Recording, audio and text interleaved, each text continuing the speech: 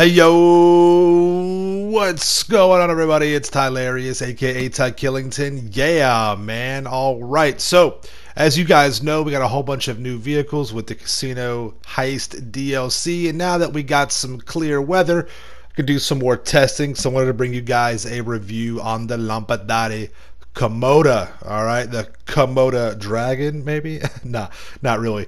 Uh, so yeah, we'll talk about the performance, customization, all that good stuff. It is in the sports class category. All right, so it's a sports vehicle.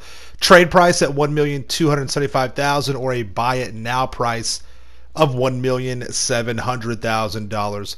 All right, so you know, get your heist done, all that good stuff. Make sure you use the vehicle or whatever unlocks that you can get that and knock it out. All right. So with the customization, there's a lot of customization with this vehicle. I mean, a tremendous amount. Look at that front bumpers. There's 13 different styles to choose from with the rear bumpers. Uh, you have several styles to choose from as well. With your exhaust, you have five different options. The hoods, you have 18 different options with the hoods. Now, basically it's you know the secondary, primary, and the carbon version of the different styles, but still a lot of different customizable options. 11 different liveries. The liveries look really nice in this vehicle as well. So many cool options with the paint schemes, with the liveries. I like that a lot. Got a couple of different mirror options. Always nice to have that. Mud guards on this vehicle as well. You can add some mud guards on there. That's pretty cool. Not a lot of vehicles have that option. Uh, with your colors right there, you get your primary, secondary, whatever you switch up. Of course, your uh, crew emblem. You've got 12 different roofs. And of course, anytime you have an air scoop on the roof, you got to add that. You have 19 different skirts. I don't think there's a vehicle in the game that has more skirt options than the Komoda. I, I, mean, I may be wrong. Let me know in the comments down below. But that's that seems like a lot. I haven't seen a vehicle have that many in a long time. 25 different spoilers. I mean, that is sick.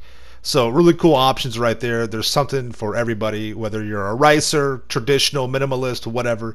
It's there for you. So really cool. Suspension options. I would have liked to see the tires get cambered out just a little bit. No big deal though.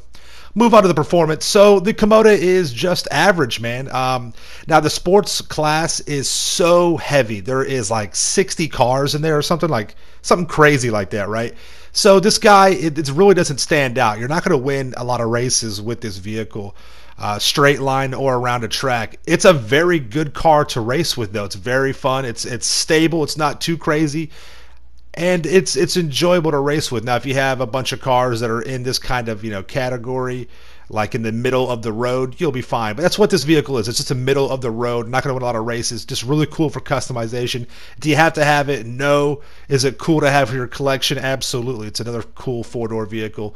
So nothing wrong with that at all, man. Thank you all so much for coming out of the video. Make sure you subscribe to my channel for the ills and reels content in the game. Make sure you smash. I mean, smash that like button.